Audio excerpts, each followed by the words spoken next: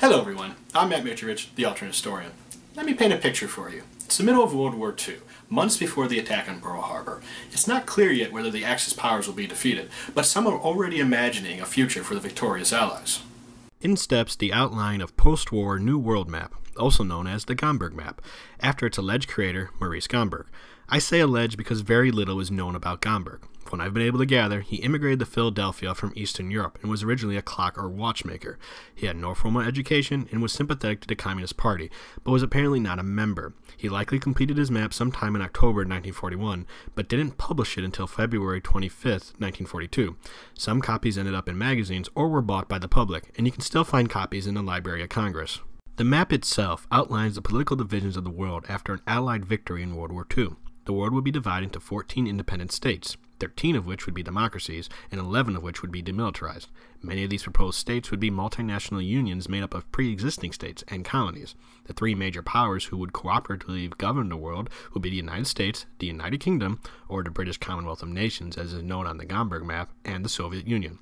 The US and the UK would also have access to peace security bases in and around Africa. There were also three quarantine nations, specifically Germany, Japan, and Italy who would presumably be occupied until they were ready to rejoin the community of nations. Based on the map, Germany was supposed to join the Soviet Union, while Italy would join the United States of Europe. It's not clear what Gomberg had planned for Japan, but my guess is he meant for them to be independent. Some other points to make about the map includes the Republic of Ireland, attaining the entire island of Ireland, the African superstate being called the Union of African Republics instead of the United States of Africa. I guess Gomberg only wanted one country with the acronym USA, and Hebrewland, which appears to be a Jewish majority state like our timeline's Israel, except it is much larger since it includes all of modern day Israel, Palestine, and Jordan, plus parts of Saudi Arabia and Syria.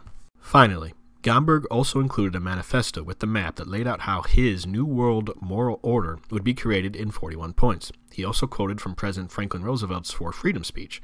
Reading this, you get the sense of just how much of an idealist Gomberg was. His proposal attempts to combine the democracy and freedoms enshrined in Western civilization with the better parts of the communist system. For example, the three superpowers would keep the peace and protect individual liberties while ensuring that all natural resources were equitably divided among the world's population. I guess it shouldn't come as a shock to you, dear viewer, to hear that I find Gomberg to be naively optimistic. Gomberg really didn't foresee how the ideological divides between the United States and the Soviet Union could lead to the Cold War and a race to create the largest collection of superweapons.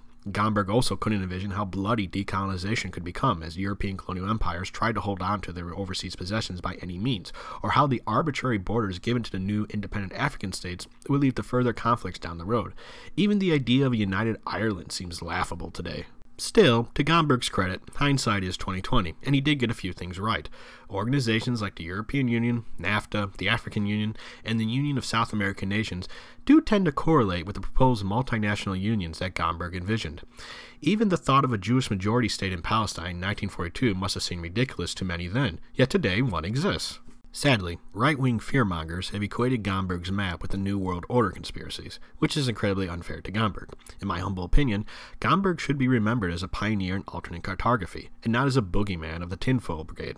He was the type of person you see today on the internet creating maps about potential futures or alternate paths. He didn't have Photoshop or Inkscape, but he did have enthusiasm and the motivation to publish his vision of a better world out to the public, and I can respect that. Perhaps alternate history's community of map makers wouldn't exist today without someone like Gomberg making effort to get his art out there.